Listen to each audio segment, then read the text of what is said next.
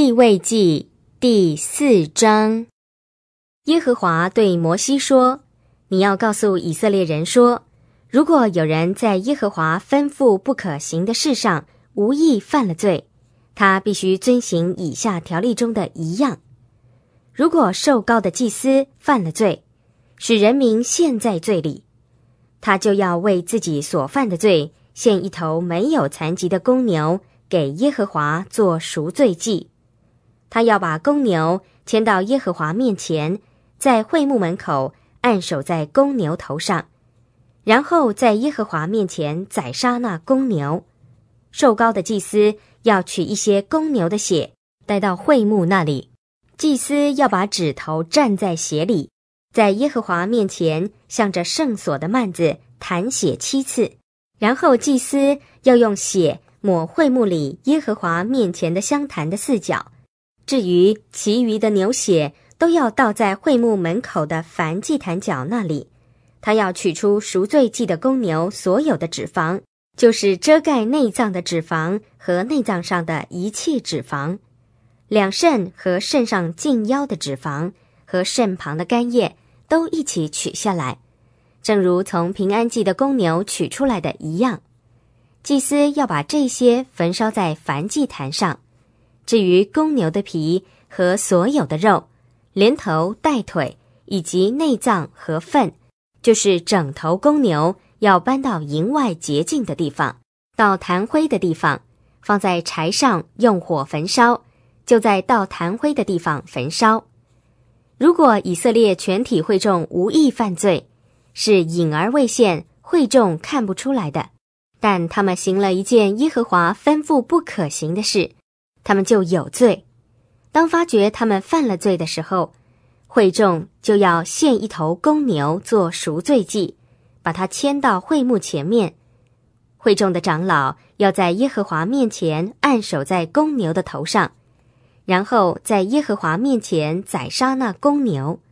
受膏的祭司要把公牛的一些血带到会幕那里，祭司要把指头蘸在血里。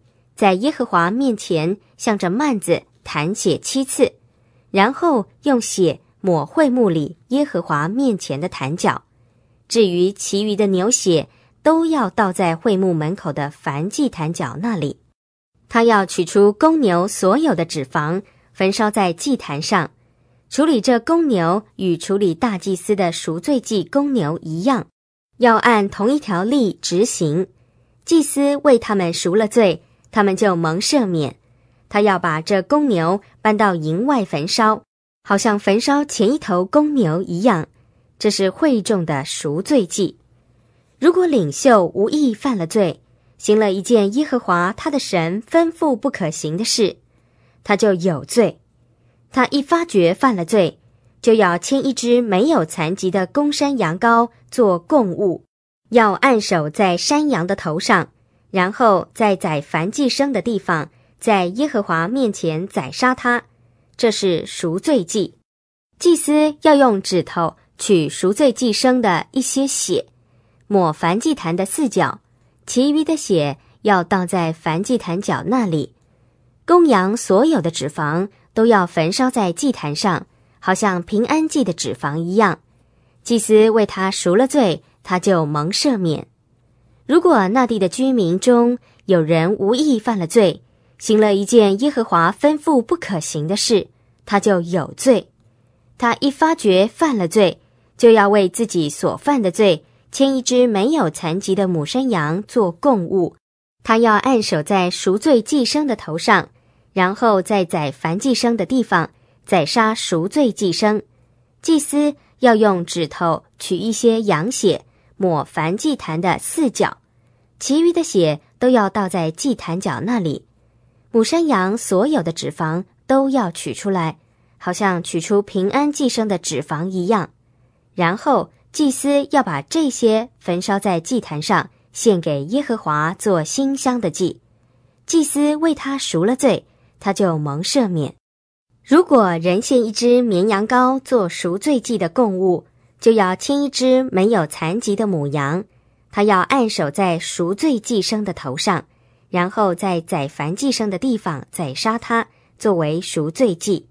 祭司要用指头取一些赎罪祭牲的血，抹燔祭坛的四角，其余的羊血都要倒在祭坛角那里。羊所有的脂肪都要取出来，好像取出平安祭绵羊羔的脂肪一样。